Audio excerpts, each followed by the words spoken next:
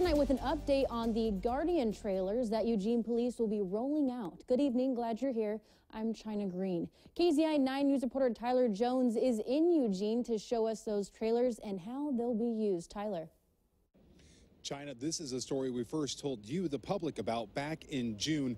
And now Eugene police have announced that they will be rolling out those security cameras here in downtown tomorrow. Chief Chris Skinner announced in June that using mobile security camera trailers like this one could be part of the solution to stop and prevent crime happening in the downtown core and other problem areas. While addressing the Eugene City Council in June, he said more needs to be done to address the issue. This is purposeful to not secretly watch people, but to overtly let you know um, that behavior is being, uh, being held accountable in the downtown core.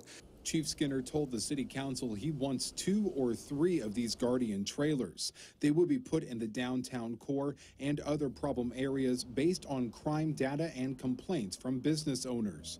Police would be able to monitor the video in real time over the internet. So it really spreads our resources around the downtown core much more efficiently than what we have right now. Eugene Police will be holding a press conference around 10 o'clock in the morning on Friday. KEZI 9 News will be at that press conference. We will have the very latest details on these new security cameras and where exactly they will be placed on KEZI 9 News at midday, 4 o'clock, 5 o'clock, and 6 o'clock. In Eugene, Tyler Jones, KEZI 9 News. All right.